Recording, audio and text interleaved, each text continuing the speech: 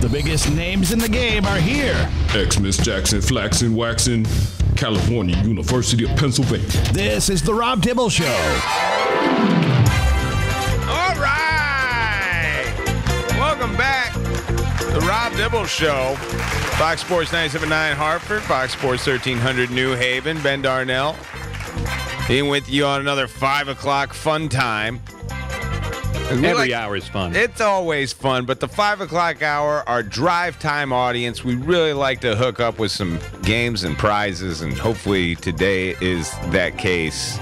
Adam Giardino in for dibs today, and I set this up for you, not knowing we were going to have any prizes this week. This was going to be a quiz Adam Giardino for the listening audience only.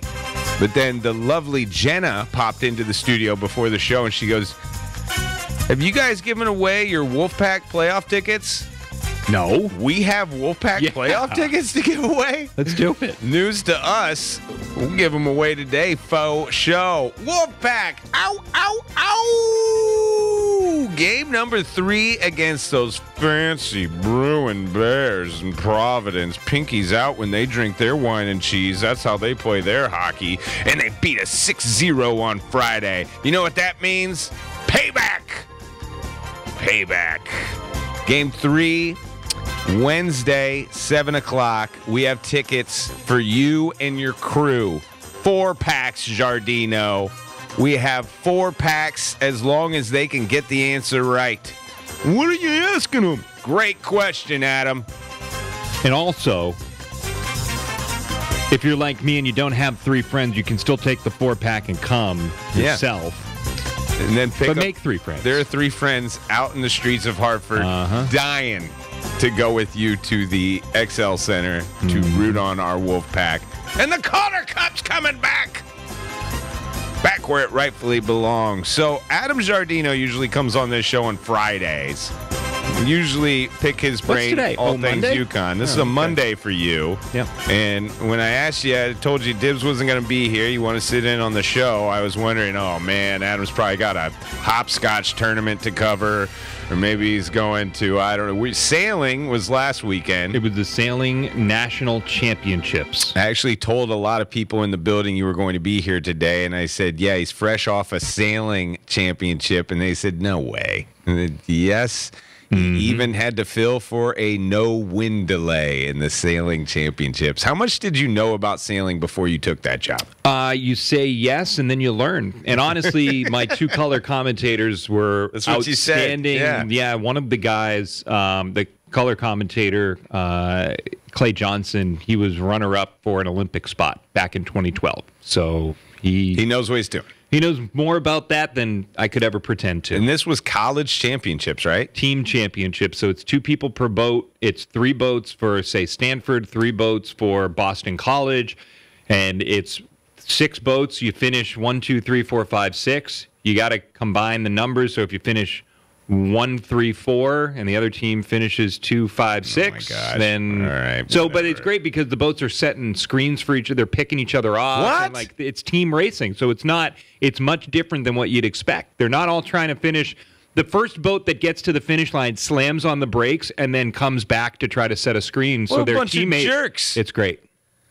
The more you know. Yep. I did not know I was going to learn so much about team sailing today, as Giardino always schools us on some sport we had no idea was going on in the world. And now it's our turn to school you, sir. So I did not give you a game board today so you could play along with our listeners. Now, don't shout out your answers. I will I not. don't want you helping the listeners. Um, and also, a little caveat today. Typically, I have multiple choice of three choices.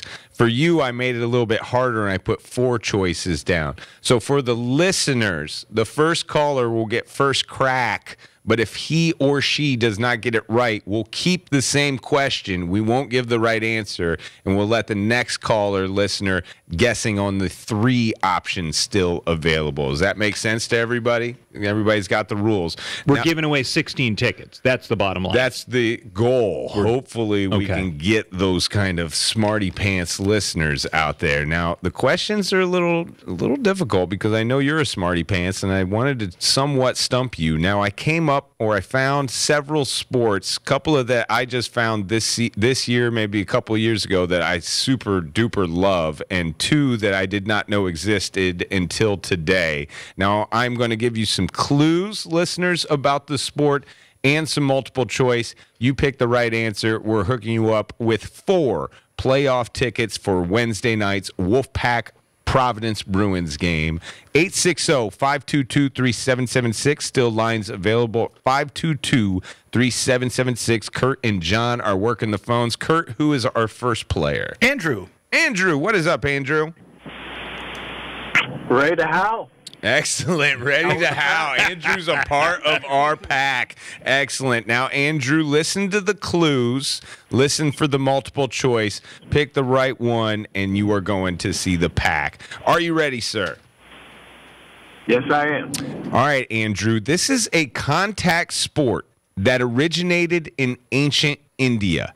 And I saw this walking by a bar at Mohegan Sun. It was on the television. I was like, what the hell is this? So they're playing this today. Very popular in India, televised popular in India. The object of the game is to run into the opponent's team's zone, touch as many players as possible, and then run back to your zone before you're tackled. It is full contact tag. That's what I call it. But the real name is either A, Mugata, B, Bobati, C, Kabaddi, D, Cricket. What do you think, Andrew? I'm gonna go with C. Uh, yeah. You are correct. Oh my gosh. Was that what you were going to say? I, I just you you lost me. A, I went into a trance. By the time you said cricket, I came out of it. Excellent. Andrew, you are correct. Ow, ow, ow. Send Andrew to the pack. Stay on hold, sir. Kabaddi. Spell C. it.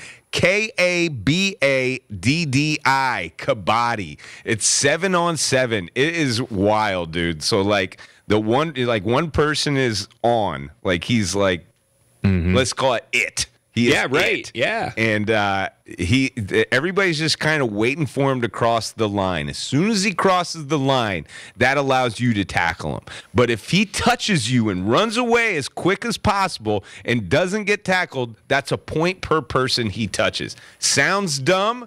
Huge in India right now. It is one of the most popular sports on television. So he doesn't have his teammates like waiting in jail to release them. no, they it's- can't help. It's like one on seven at that point, but then you have your you're just throwing mates. stiff arms, really, is what it comes down to. and it is physical man there are no pads in this thing and it is full like once you once you tag somebody it is on It Love it. is on. Oh. I, at first, I was like, "What the hell is this?" And then two and a half hours later, I was hooked. Couldn't stop watching. Congratulations, Andrew, him and his crew. It sounds like we sent a pretty good one there to uh, Wolfpack. We need loud and proud people, and Andrew and his posse definitely will be that. 860-522-3776. 522-3776. So far, one for the listeners, zero for Giardino. Excellent. Kurt, who we got? Ashton. Ashton, what is up? How are you doing? Doing well. Hopefully, you know your obscure sports. I'm going to tell you all about a sport and then give you some multiple choice to choose from. Are you ready, Ashton? I am ready. All right, Ashton, this is a, an extremely violent game. Extremely violent game. It is only played in Florence, Italy. Most describe the game as a combination between football, rugby, and MMA. Ooh, Giardino's got a smile on his face like he knows this. Here's your choices, Ashton. Is this sport called Sosera Javar? B. Calcio Storico? C. Trattoria de Fis? D. Supreme Football? What do you think, Ashton? Uh, I'm gonna go with Calcio Storica.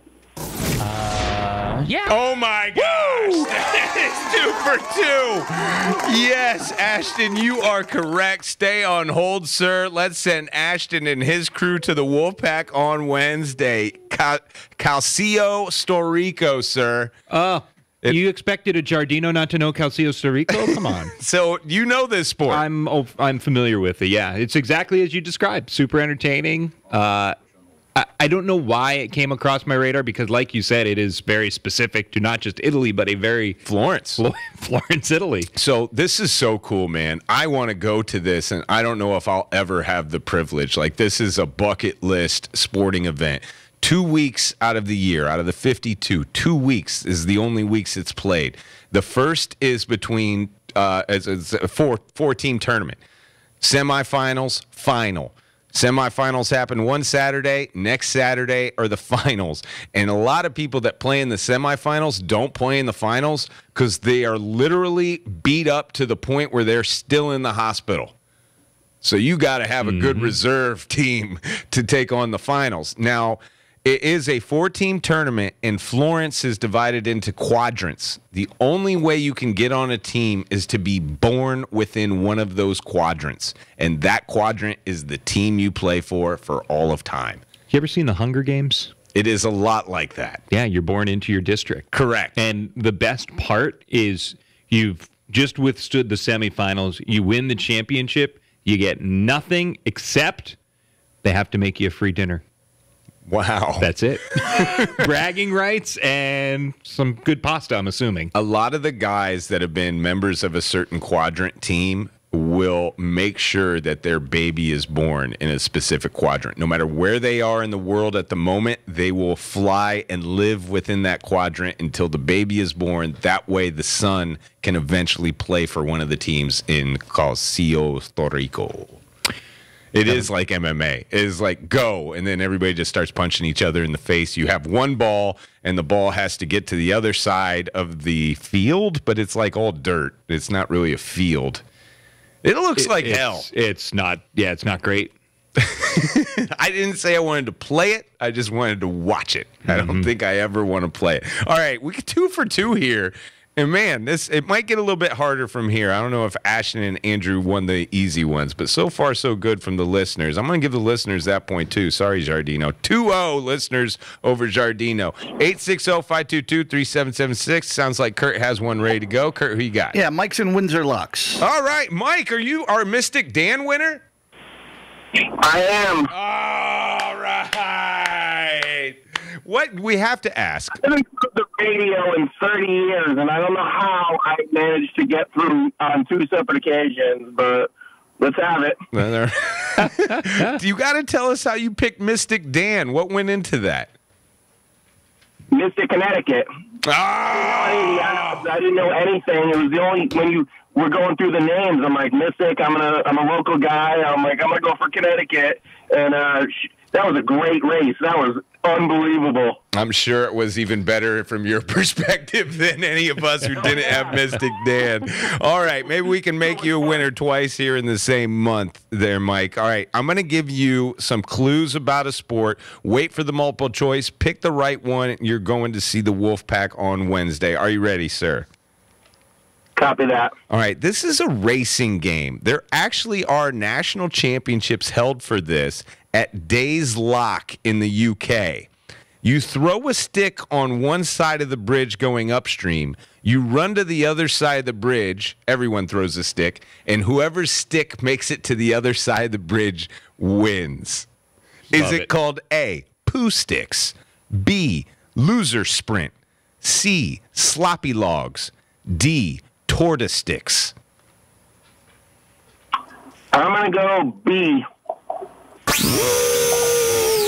No. Mm, I am sorry, Mike. Try back. It is not called loser sprint. No, it is sorry. Sorry, that is wrong. Yes, let's give someone else a chance with just this question. Again, it is a racing game. National championships are held with this, which is just amazing. People may say that about your sailing too, so don't smirk so ba- so much at this game. You don't know. It's in uh, Days Lock in the UK. I think that's an important part. It's in the UK. All right, 860 522 3776. Who you got now, Kurt? Raymond. Hey, Ray. Hello. All right, Ray, you lucked up. You've got a second chance at the same question with less multiple choice. I'm going to read you a description of a game, give you multiple choice. You get it right, you're going to see the Wolfpack. Are you ready, Ray? I'm ready. It's a racing game. There are championships. You throw one stick. Giardino throws a stick. I throw a stick on one side of the bridge. We run to the other side of the bridge to see which stick comes through first. Is that called poo sticks, sloppy logs, or tour de sticks? See. Sorry, Ray. I am sorry, Mike. The correct answer. It's poo sticks. Whoa! Giardino gets it right. And I did, I had it. I thought it was uh, twiddle twigs, but I guess it was poo sticks. Poo so sticks. it's all you know, us that eh, you know that are in the community. It's twiddle twigs, but poo sticks for the rest of you. I'm I'm thinking this is a great guess by Giardino. You don't know where the name Poo Sticks comes from, do you? I don't, but I did know that. Uh, yeah, the, as soon as you said poo sticks is option A, I had it. I was like, oh yeah, that's what it, that's what it is. Uh, that might have been it. Might have been in a Sports Illustrated article at some point. Now let me give you the spelling of Poo Sticks. It is P O O H Oh, sticks. like that. You are so correct, sir. It is actually from the uh, Oh. original novel of Winnie the Pooh, written in the United Kingdom. It is a game that him and Teddy Ruxpin, I think, used to play on the bridge, and now they play it for cold hard cash in the UK. Pooh sticks is an actual sport. Maybe you'll get a job calling some play-by-play on some poo sticks. That's right. I mean, I'm sure it's very exhilarating waiting for the other stick to come across the bridge. You don't see the stick. How are you going to know which stick comes through? Wait, wait, wait. You said it's whichever one goes furthest. No, whichever one comes first. First, first under the so, like, Got we it. all have sticks, and I guess they all have to be different colors or something to know which stick is yours, Mm-hmm. which stick is mine. We all throw it at the same time, then we run the other side of the bridge, and then whoever stick makes it out the other end first wins. What a game. Got it. What, what's the difference between that and the Kentucky Derby, honestly? really isn't much. By a nose, right? I mean, Like, imagine if we did poo sticks like all the time and bet on it hardcore. There'd be people out there that would analyze poo sticks as if it was like, you know, this stick, this guy, he throws the stick. It always comes through on the stick. He's just got great angle, great wind. uses perce- hickory. He use, yeah, great hickory right. stick. Everybody's, you know, denying hickory, but I'm telling you, hickory's the poo stick of choice. All right, enough on poo sticks. We got room for one more. 860 522 3776. Who you got, Kurt? Let's go to Casey. Casey, what is up? How we doing, fellas? Doing well. Trying to get one more winner to the Wolfpack. Now, this is a new game that we're describing to the people, Casey. So listen for the description and listen for the multiple choice. You get it right, you win. Are you ready, Casey? I'm ready. It's a racing game, another racing game. This originated in Finland in 1992. The object of the game is for a male to run through an obstacle course while carrying a female.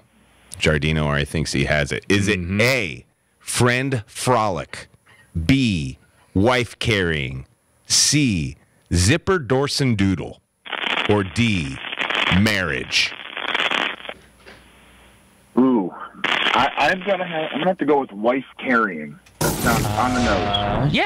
All right! Excellent job, Casey. Wife carrying is correct. Stay on hold, brother. We were going to hook you up with some Wolfpack. Excellent job. Was that what your guess was going to be, Giardino? It's funny. I almost mentioned wife carrying earlier in the segment, and I'm glad that I didn't. Really? I'm thrilled that I didn't. How Yeah. did you know about wife carrying being a sport? Uh, It's just uh, again, I don't know. Just uh, spending too much time reading too much stuff. That would be another great sport to break down, like play I by think that play. is. I think it's been on ESPN. I think that's a- 1992. I think that's one of those. Ocho? those Ocho. I think that's been on the Ocho. Well, there's a big cash prize every year. It is a muddy mess of wife carrying. Now, I wondered too, there's been a lot of questions about wife carrying. Is there a weight limit? Do you have to really be married? Like, there's a lot of people who have some questions about uh, breaking down wife carrying. So there you go, Giardino. There's some some gigs coming up for you. Wife carrying, poo sticks. Oh, if you got to do a Calcio Storico play oh by play, that would be wonderful. Kabaddi. Look into Kabaddi.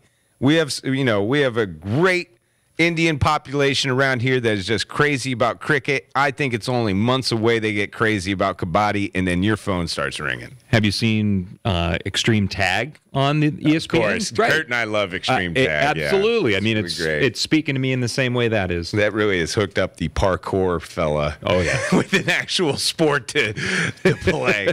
Congratulations, Casey, Ashton, Andrew. They're all a part of our pack, especially on Wednesday night as Wolfpack take on Providence. If you can't make it to Wednesday's game, which I feel for you, $2 beers there at Wednesday's game as well. Friday's game will be going on. That will be game four as the pack take on Providence in the Calder Cup playoffs. Congratulations to all who won. To get deeper more into this matchup, we talked to our friend Alex Thomas, the voice of the Wolfpack. Let you listen into that next when we return here on the Rob Dibble Show on Fox Sports 97.9 Hartford, 1300 Fox Sports New Haven.